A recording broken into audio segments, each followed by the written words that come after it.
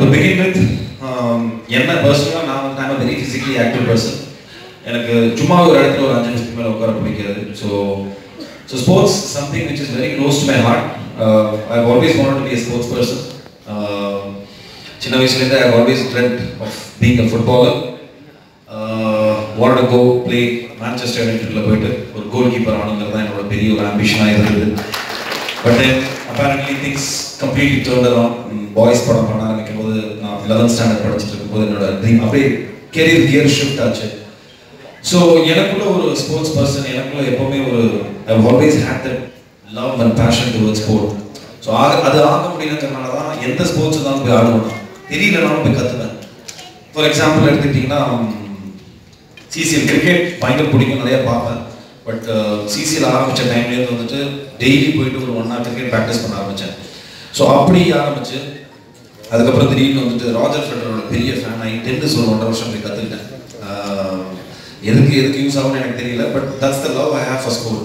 so recently எங்கே தான் எத்தனை மணிக்கு ஷூட்டிங் முடிஞ்சாலும் நைட் ஒரு ஒம்பது மணிக்கு ஒரு ஒன் ஹவராவது பேட்மிண்டன் ஆடலன்னு எனக்கு தூக்கம் வரும் தட்ஸ் த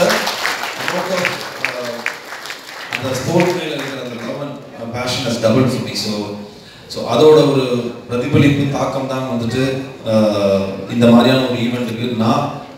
பங்கேற்கிறேன் அதே மாதிரி வந்து பிராண்ட் அம்பாசடர் ஆகினேன் மொத்த ஃபெட்டர்னிட்டிக்கும் thank you so much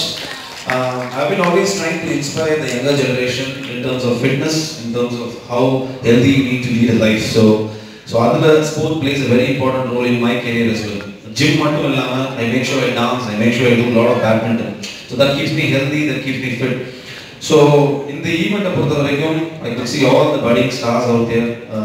நிறைய கூகுள் பண்ணி பார்க்கும்போது சரி இல்லைன்னா ப்ரீமியர் பேட்மிண்டன் லீக் ஒரு பெரிய நடக்கும்போதும் எங்கேயாவது ஒரு நம்மளுக்கு தமிழ்நாட்டில் தெரிஞ்ச ஏதாவது ஒரு முகமோ இல்லைன்னா பேர் இருக்குமாங்கிற ஒரு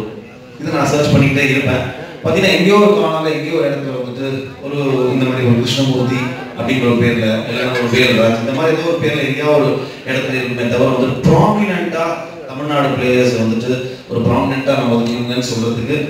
ஒரு பெரிய ஓப்பனிங் தான் இந்த TNDSL I think to all budding sorry budding badminton players மிகப்பெரிய ஓப்பனிங் எப்படி அஹ்,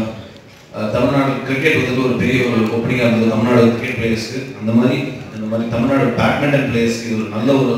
opening and to And of course, we have to thank all the sponsors and Star Sports for coming forward and uh, helping us out. And uh,